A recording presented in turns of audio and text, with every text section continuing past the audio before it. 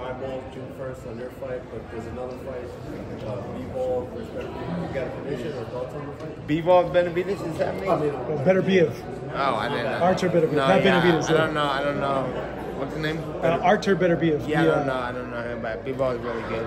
Uh, so we'll see what happens. And uh, I seen him fight a bunch. I was watching him training and shit. So.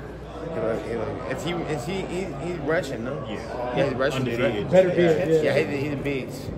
Yeah, Chechen. I, I figured he's Chechen. 100% finish rate, right? So he, he, he's pretty good. Yeah. And then um, I have no prediction on that, though. and, and how would your boy Andre Ward if he ever came back to against Canelo?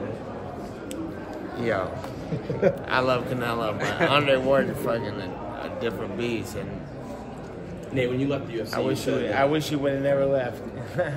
when, when you left the UFC, you said like there wasn't anything like cool happening, and you just want to kind of step away for a bit. Do you see anything cool happening now? Anything of interest to you going on right now in the UFC? uh, coolest thing right now for, from the UFC is uh, uh, Leon Edwards. That's what I got my sights on. I like, I like, I want to fight him. I like that fight right now, and uh, I think he's doing great.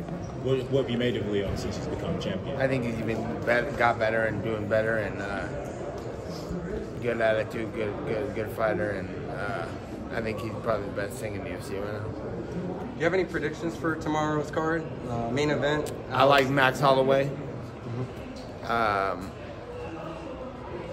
uh, uh, I don't know. I don't know. It's a job. the Hill versus. Uh, yeah, I don't know. Uh, I, I, I know Hill. I like Hill.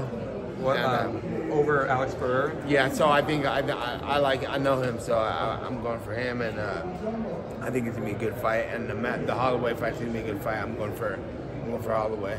I like Holloway. I'm, I know him too, and um, who there's a whole bunch of shit. Bobby Green, Jim Miller is gonna be a great fight, and then um, the girls is gonna be a good fight Holly too. and- Holly and uh, Kayla. Kayla Harrison? Kayla Harrison, yes. I like Holly.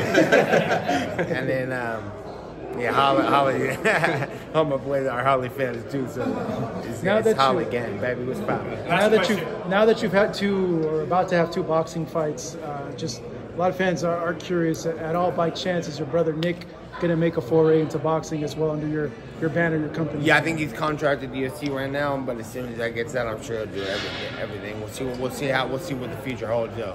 So we'll see what happens. Do you yeah, know, next like- to go, so we'll see what happens. Do you know how much time is left on that? Like how, how soon you anticipate that for your brother to Now do we'll see. We'll see what happens. Time will tell. yeah. Raimondi's leaving MMA coverage. Don't you think the sport's going to miss him? Where are you going? NFL. NFL. Big time. Mark, we got a spot on the couch for you when you get bored, brother. hey, thank you guys. Have a good one. all right? Thanks, Nate.